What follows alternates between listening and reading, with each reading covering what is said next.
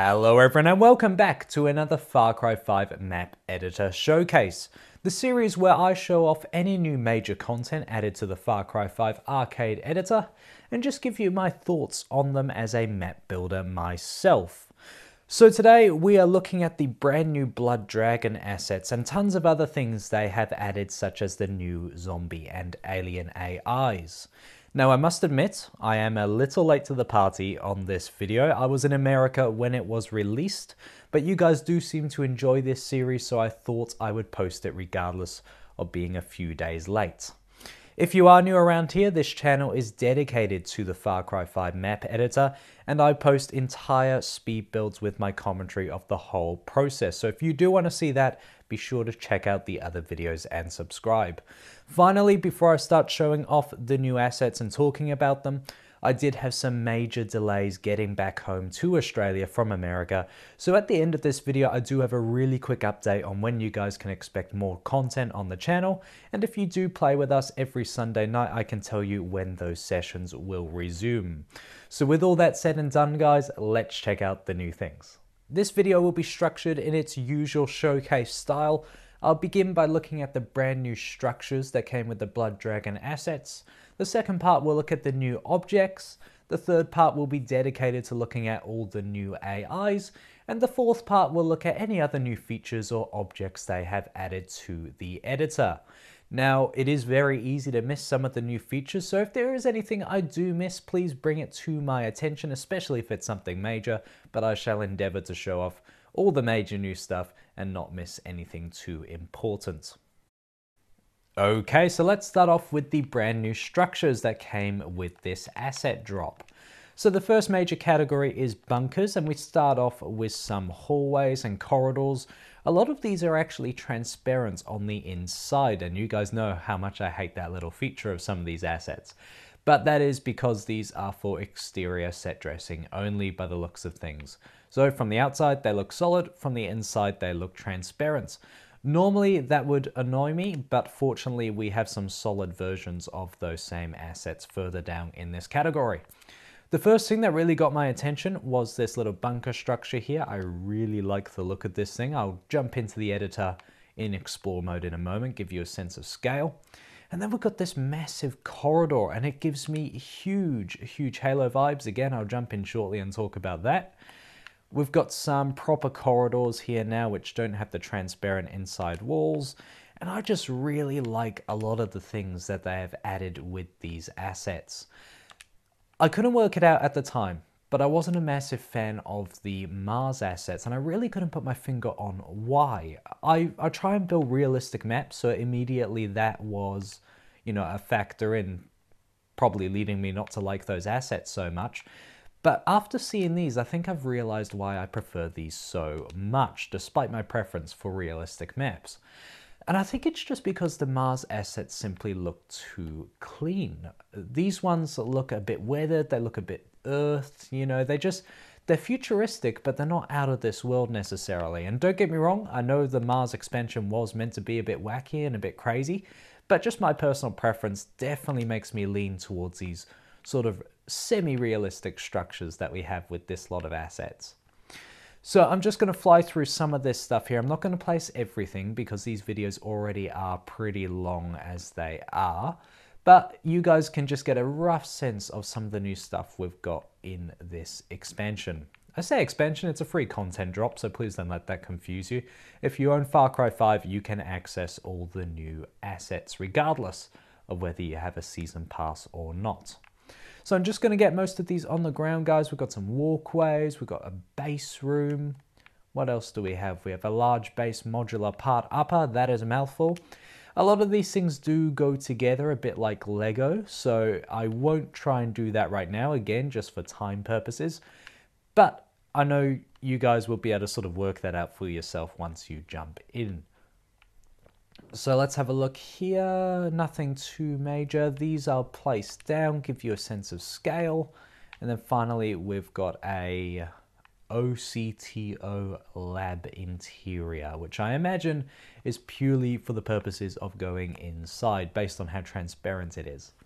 So let's jump into the explore mode, guys. I'll just give you a sense of scale once again. I mean, Look at this. They look small in the editor view, but the second you jump in, everything is just so much bigger. This is the hallway that really gives me Halo vibes. I think it's the doorways that really do that for me. Here we've got our lab interior. The second you go inside, things look a bit more a bit more normal. The walls are solid. We've got our normal corridors that I showed off earlier. Next, we've got this little outpost, and this is probably my favorite structure within this category. It's just got so many cool little details built in, like these uh, these screens, and I just love how it's a bit of a 360 view as opposed to just straight on. I cannot wait to build some maps using these assets. So let's jump back in, look at the next category under structures. Where are we? There we go. Blood Dragon, structures, doors and windows. I'll probably fly through this category a bit quicker because a lot of these are, you know, just major sort of uh, structural pieces as opposed to entire buildings themselves. But you can see we've got a nice mixture of things with glass doors, solid doors, ones with frames, ones without frames, just loads of little pieces to, uh, to really make the map your own. And uh, I'll just continue flying through here. We've got some larger sort of garage entrances there, some really solid doors with some lights built in that look pretty cool. I don't actually know if these are meant to fit in there. I'm not going to put too much effort in at this point. but yeah, you can just see some of the really awesome stuff we have in this category. I love the detail in this. I mean, it's got loads of, you know, flashy lights and stuff attached, but again, it just doesn't look too out of this world. It looks somewhat understandable and somewhat realistic, and I just like that in terms of my personal preference. Next, we have extensions. These are normal, normally just little things you add to the existing buildings to make them feel a bit more unique. Base jump, jump pad shaft. I have no idea what this is, but I just noticed it for the first time. It looks like a massive elevator shaft. Maybe you can play with gravity or something to make those function. Next, we've got a lab transport tube. That is an interesting structure. As I go through this category, it's probably a good time to throw the disclaimer in that despite the popularity of the Blood Dragon expansion in Far Cry 3, I have actually not played it myself. So if any of this stuff I misinterpret as something else or just don't fully explain it as it is accurately, that wasn't very good English. If I don't explain it accurately, please just gloss over it, guys. I am actually not really familiar with the Blood Dragon game itself, so forgive me for that one. Just loads of columns here. We've got some interesting stuff towards the bottom of this category. This ramp cover here. I don't know what that's actually meant to be, but for me, it actually strikes me as, and I know it's not this, it reminds me of the blocks they use on aircraft carriers and airports to stop the jet streams absolutely blasting everything behind. I know that's not its purpose, but if I ever make a runway or an airport map, I think I might be using them for that purpose. Under hangars, we've got some really awesome stuff over here as well. We've got plenty of very large structures. We've got the interiors of some hangars. I mean, look how that just slots together. Isn't that satisfying? And we've just got loads of really big things in this category. Some smaller stuff here, bank, uh, base hangar extension. Again, get a lot of Halo vibes from some of this stuff. And you can also see where they really got their inspiration for some of the Mars assets as well, I think. I think a lot of the, the Mars assets were based on a lot of the things from the Blood Dragon expansion in the original Far Cry 3 game. Of course, that's just wild speculation, but you can definitely see a lot of design cues that just flow across both types of categories in terms of the Mars and the Blood Dragon assets. I am just flying through here. That is all the hangar stuff. I think I'll pop down a few more buildings before I jump into the editor and again give you a sense of scale. We've got a laboratory facility. They've got all the computers and stuff built in already. And then we have this insane looking structure and basically a hollow version of the same building, which I won't place that one down. Under platforms, we've got some awesome stuff in here too. We've got a nice little glass bridge there. I don't think the glass shatters on that one, unfortunately, but still, it's a very cool little structure. We've got loads of pathways here, platforms. This stuff's pretty repetitive, but there are some really cool things in here as well. We've got some elevated walkways with lights built in. And yeah, I can really see some sci-fi maps really growing in popularity after this stuff has been released. It just looks so cool. And I just feel like a lot of this looks a bit easier to work with than the Mars assets. The Mars assets were a bit of a handful. So many of them were transparent, they had harsh draw distances. It was just a bit of an annoying set of things to work with. Just going through the final few things here now, we've got staircases, platforms, more ramps, stairs. I'm just going to fly through the rest of this, I think, unless something really grabs my attention. We've got some really big stairs there. They're they almost look a bit out of style. I'm sure you guys will know the context if you played the original Blood Dragon expansion. But yeah, the color scheme of that just looks very different to everything else. And yeah, just more walkways. Let's go down to satellites. This is the very last thing I'll show off before I jump into the explore mode and give you a sense of scale. This stuff, like the Mars assets, is huge, especially these antennas. They are just ginormous and that does wrap up structures. So before I move on to objects, let's jump in and just have a real quick look at just how big some of these things are. Also, I'll also show you any sort of details I notice because I know a lot of you guys are interested in all the useful things they add to these structures so we don't have to detail them ourselves half the time. So here you can see one of the hangars. You can see I added that walkway in there. You you know, I put very little effort into actually matching these up, but you can see how well they fit together. We've got a nice little watchtower here. I imagine a ladder must be added there to climb up, but again, very cool structure. We've got a, I assume that's some sort of like airport traffic control tower there perhaps. That's also very cool looking. And if I run over here, you can just see the stairs, the walkways, and yeah, some of the larger structures over here as well. We've got the bunker, we've got the little uh, I don't even know what this is called. This little outpost there is a very cool little structure. You can see just how tall some of these antennas are, and I hope that I can actually climb up into this. Yes, I can. And again, look at the detail and size of this stuff. This is really cool. This in itself could pretty much be a map if you do it on the deathmatch mode. It is just really cool. I'm so happy with the structures that they have added in this little asset drop. So now that I've showed that off guys, let's look at the objects. Okay, so under the brand new objects from this Blood Dragon asset drop, we have the normal categories, but some very interesting things within them. Not so interesting is the usual assortment of corpses and things like that, which I won't focus on too long because I do like keeping my videos monetized. Under electronics, we've got some also really cool stuff. A lot of this normally would actually attach to buildings, but again, just for the purposes of efficiency, I'll just sort of fly through this stuff. I don't know if these control pads are actually functional, if you can script them in any way. I know scripting may be actually on the way to the editor. Whether that is true or not, I cannot confirm.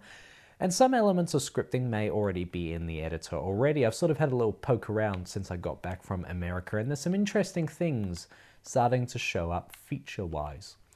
We've got some capsules here. That purple color on this one gives me the uh, impression that it has some sort of physics attached to it. I hope that purple color certainly won't intrude in the final map design itself. I hope you can get rid of it and that it won't show up if you destroy the structure or anything like that because that is an issue some of the physics items in the editor have. We've got loads of cool stuff, little computers, and I just love this stuff. When they announced the Mars expansion for the Far Cry 5 game, this is sort of what I expected. I didn't really expect the assets to be clean, as clean as they were, as I said. I keep using the word clean. I guess plasticky and fake is what the Mars assets sort of, the vibe they give off to me. These ones just look a bit earthier, a bit more human, and a bit more realistic. Again, I know that's just down to personal preference, but I keep going on about it because I just do love some of these brand new objects. These cover items here are really cool. The barrier covers, I love the lights on the side and they've got really cool shapes and patterns to them. I just really do like the look of this stuff. We've got cages, which is a bit creepy. Some of this stuff looks pretty daunting. We've got communication units. We've got more cover there. That's an actual roadblock, that one. got chairs. There'll be lots of stuff in this category that I really will just have to fly through for the purposes of time. We've got some benches, desks, and what really strikes me about these assets is just how detailed everything is already without you having to go through and place individual things yourself. So now we go down to lighting. We've got the Danko lamppost. I probably butchered the pronunciation of that, but that is a really cool looking asset. Then we've got uh, a large light post as well. That looks really cool. I sort of, I get the feeling that could be used in almost like a futuristic stadium. That looks really, really awesome. We've got a light ceiling, just loads of smaller lights now, and a shield generator. I imagine that is to give the impression that a force shield could go across a doorway or something like that. And then we've got a garrison beam lights, which is uh, very bold as well. Under mechanical, we've got some pipes and things like that. These are semi-submerged into the ground, but I will just fly through them. We've got this one here, which is really cool. I will actually raise this one up because it's got that really awesome texture flowing through it, and that looks really, really cool as well. Back to mechanical now, we've got our laboratory prototype machine, we've got uh, robot arms, just loads of really cool things. Again, very highly detailed as well. Benches, trims, just all the detail you could possibly want in this category. Finally, under storage, we've got some large equipment containers, sort of futuristic shipping containers is what I see those as. We've got a gun rack, which is very cool looking. A floating gun rack is what I'm going to call it at least. and then we've got loads of just, yeah, interesting little variations of the same objects. Big, small, floating, not floating, everything in between. Got barrels, which look very awesome as well, a larger version. Then we've got a storage locker, more lockers, containers. Yeah, just loads of cool things. A lot of these objects aren't necessarily new. You know, we have barrels, lockers, all that stuff already in the editor. It's just the way they are styled is so different from what we already have. So they really do feel like unique and useful additions. And I believe that really does finish up all the objects under Blood Dragon. So if I just quickly jump into the explore mode, I'll show you just how detailed they are. Again, give you a sense of scale. And yeah, these just look really, really cool. I kind of wish we had another larger version of this big lamppost here, and one twice as tall and big would also be quite cool. But yeah, you can just see the detail on some of these assets. It is so, so cool. I really do like all the things they've added with this little expansion. So, with all that out the way, now let's move into some of the stuff that isn't necessarily tied to Blood Dragon, but is still very exciting indeed. Now we can take a look at something which I'm sure a lot of you are going to be really excited about, and that is, of course, the brand new AIs. This is something loads of you have been frustrated that they haven't been added in sync with the assets, especially the aliens and the zombies expansion. So let's take a look at them because they are finally in the editor. So, of course, these zombies do sort of reflect the ones you see in the campaign expansion. We've just got loads of little variations. I personally have not played the campaign expansion myself yet, of course, being away and all that. So a lot of this stuff is really new to me, and once again, you guys will probably have a lot more context on how these guys behave than I do. We've got the enemies DLZ NPCs. I imagine these are just human, yeah, sort of survivors, military personnel. I know there's a few different factions in that campaign expansion, so I imagine these represent some of those. Oh, I've hit my AI limit for that square. Let's jump over here instead then. Loads of really cool looking stuff here. These guys look really, really crazy. Some of their texture work is pretty nuts. I think a lot of this is just the same AI with their sort of different class variants from what I can see. That is how they are, yeah. So these are just some of the new AIs that you can get. I think that is it for the zombies and stuff like that. Let me just double check. We've got our spawning references over here. These are zombie related as well. It looks like these are, yeah, these spawn zombies. That's how I understand these work. And you can actually go inside and customize their properties. So you can make them spawn, You can choose how many enemies they spawn, the range, all that sort of stuff, the triggers. So yeah, loads of really cool customization options with those have been added. Now let's look at some of the aliens. And at first I thought, where are they? And they are under animals, which I suppose technically makes sense. I mean, you could even put these guys under animals, I guess. But yeah, it was something that did confuse me briefly when I first realized they were in here. So if we go down, you can see we've got some pretty scary versions of the zombie creatures as well. So bears, all that sort of stuff. And now, look at this. They've even got Blood Dragons. Now, I have not played the Blood Dragon expansion, as I have already said, but even I am excited for how cool and scary those things look. I thought Yetis were awesome and terrifying, and those things just took it to a whole new level.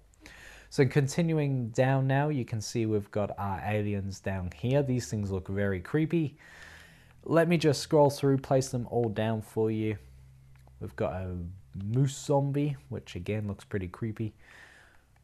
Just scrolling through, here we go. Now we've got some of the larger aliens in here. I know they're not actually called aliens. Then that's not how they really refer to them in the game itself. I know they've got their own unique name, but that's just making it easier for me. So that's what I'll call them. Going down further, just place a few more of these guys. They are absolutely terrifying. They've got so much detail and so much aggression to their design. It's uh, it's really really intimidating. We've got a wolf zombie, which will also be terrifying. We've got some workers. These guys have lights all over them. And then we have a zombie yeti as well. Now, I'm going to jump in and attempt. Actually, no, I'm not going to jump in because things will go crazy. Let's just take a look at these a bit closer before I do jump into explore mode. And I will try and give you a sense of scale for all this without being absolutely slaughtered. Actually, I won't be slaughtered because I will be invisible in explore mode, but it does give you a sense. Ah, got object area not clipping. Let me sort that out and then I'll uh, jump into the editor and show you. Okay, so I have sorted the clipping issue, guys. I thought I'd actually share with you what the problem was because clipping issues are a bit of a problem in the editor. It was these smaller little alien AIs here. They were sunk into the ground ever so slightly. That is a bit of a recurring problem if you do have sort of clipping objects and they are AI related, it's normally the smaller creatures because their sort of hitboxes are so close to the ground. So now that that is sorted, let's jump into the editor and let things go a bit crazy. Okay, so you can see how aggressive all these animals are. The blood dragons are just nuts. I mean, they're probably going to win this little standoff, I would fully expect, but everything is nuts and my controller is going crazy right now with the sort of vibration and everything that comes with this level of chaos. But I just love this stuff. I cannot believe the playground that Ubisoft has given us with all these AIs. I've never really been a big fan of their shift towards single player missions and all that stuff. I was really annoyed that they took the multiplayer aspect out of the editor in previous iterations of Far Cry but I'm so glad that they still have retained these missions now and also given us the ability to make multiplayer maps. It's just the perfect combination. So they are all the A, uh, all the new AIs, I believe, and I am yeah really pleased with those. They're all very different. Of course, most of these would not actually feature in the same map if you're making it a uh, not realistic, but a, uh, a more harmonious experience. Zombies and the aliens would be an interesting combo nevertheless. So, the final part of this video will look at any other new items they have added, so I'll be back in a moment with those. Alright, let's finish up the video by looking at all the uh, little new things they've added right throughout the editor that might be quite interesting to some of you. And boy, are there some interesting stuff here. We have got now destructible generic shapes meaning that all this stuff actually breaks. It's not solid anymore. We've of course got the, the solid versions that won't go anywhere during gameplay, but all this stuff has a destructive capability to it that will just make the maps feel a whole lot more dynamic. So these ones here, they've got no physics attached. That means that they will not sort of respond to gravity necessarily. You can make them float, but they will still destroy themselves. The ones with physics, I understand, do respond to gravity. So let's uh, let's just look at a generic shape that might demonstrate that for us. If I place that down, I'm hoping if it does have that physics attached, this stuff will fall down. So I'll have a look at that in a moment for you. And of course, Invisible is something they added in the last update, so be sure to check out that editor showcase if you want to hear more about those invisible walls that you could just see there. So let's have a look here. If I were to bump into this stuff, there you go. It may be light, but it certainly has physics attached to it. So yeah, you can see how that works. And the fact it is destructible. There we go. Okay, that was a nicely timed little charge at me there. So now you can see these larger object, objects, they will also completely destroy themselves. Hopefully, okay, it turns out pyramids are a good launch pad for grenades. That is funny. Okay, but yeah, you can see these things will also destroy themselves as well, and hopefully when they do get destroyed, they sort of show the texture that you apply to them as well. And you can see just how detailed some of the destruction is there. That only blew off the corner instead of blowing up the entire thing. I'm really impressed with just how far Ubisoft have gone with some of these generic shapes. Now let's look at audio and visuals. There's some really cool things under here. So now we've got sound points. I believe these are also new. These basically localize sound effects. So if you've got an air conditioning unit, you can stick this on it and it will make the correct noise. I believe this stuff is new. Please forgive me if I'm incorrect, but I have certainly not spotted it before and just loads of little sounds in here. We've got door knocking, car alarms, waterfalls, just everything you could ask for. Volumes, these are sort of the same sounds but on a larger sort of scale and you can customize the shape of this stuff. So, and this will respond to its sort of category. So you can see we've got church there, we've got generic, room, large. So I just imagine that affects the echo of the sounds you eventually apply. Visuals, I don't believe there's anything too major new under here apart from some lighting management options. Next we have, let's go to gameplay. I think that's where the next new lot of things will be found. Weapons and ammo, there might be some new weapons in there. I actually won't showcase them here because of the time of the video. I don't think there's any major new vehicles under here. One that did catch my attention was this one, which I think is new. I could be wrong. But what is definitely new is this little cubic thing going on here. And they've also got a cubic helicopter and a cubic jet ski. I don't know where they come from. I imagine that might be a Blood Dragon thing. If it's not, I have no idea where or why the inspiration for those actually happened. But now you can see we've got under this one over here, we've got an AI. This one's called a Navlink character fall. I actually don't know what that does, guys. You know, I haven't played with the AIs that much myself. I mainly build multiplayer maps. So if you know what that is, do let me know.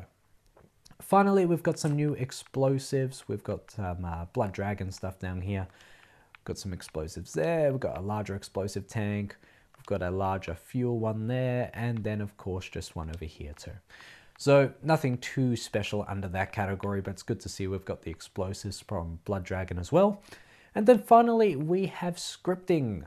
I'll be honest, I've got no clue how this stuff actually works, but I'm going to show you that it's in the editor regardless. So I alluded it to it earlier. It turns out it is in the game already. You've got trigger events, trigger look at, and then trigger volume. Similar with the sound, I imagine these are just sort of very specific trigger points. This can be applied to a larger space. And of course, you can customize the size of that object. So I believe, guys, that is all the new stuff added with the game, so I'll just quickly wrap up that channel news as I suggested earlier. In terms of the channel updates, I actually posted a dedicated video talking about everything on the channel, including some exciting developments coming very, very soon. Be sure to check that out. This is just a quick amendment to some of the stuff that I said in that video now that I've got back to Australia much later than I first anticipated. The first thing is that many of you know we have the Sam Plays Test Team Xbox Club, where we test all the maps I build on this channel and actually just have a bit of fun in the game itself. We play every Sunday, 11pm West Australian time, but it's been a bit rough this past month because I incurred some storm damage to my studio, Then I missed two Sundays because I was actually in America. And while we were meant to resume this week, I got back so late that I simply didn't have the energy to stay up to midnight Australian time, along with work and all the other things I now have to catch up on because of the late arrival back home. But I am here to confirm that we will resume from this Sunday, the 9th of September 2018. So please join me again, guys. I know it's been a while. I can only thank you for your patience. In terms of content for the channel, I am a little behind schedule as well. I try and smash out a video every Friday of the week. This one will be a bit different because it's a showcase, not a speed build. But the next build is coming very soon. It is a journey map. Probably not what you expect, but certainly a fun build that I'm enjoying. And I will try and get back to my weekly uploads from there, guys. So all I can say is thank you again for your patience with the content. Please understand the uh, very frustrating circumstances that have delayed progress in terms of our play sessions and the content on the channel. Again, more details on where we have been, where we are, and where we are going with this channel are available in that channel update video I did. But that's just some quick information for you guys. This has been the showcase of the new assets in the Far Cry 5 arcade editor. If you did enjoy, be sure to drop a like, be sure to subscribe, and be sure to check out all the speed builds I do, which really are the heart of this channel. I cannot wait to actually build a map with these new items. I'm far more excited about these than I am the Mars assets that recently came out. And I cannot wait to get round to that. Despite a few maps already lined up, I will eventually get to using these. So thank you for your support guys, and I will see you in another video very, very soon. Goodbye.